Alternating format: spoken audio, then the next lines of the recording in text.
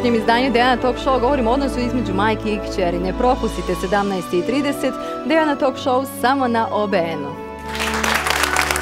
Samo ti želim u životu jedno, a to je da imaš jednu istu takvu kao ti, pa da vidiš kako je meni bilo.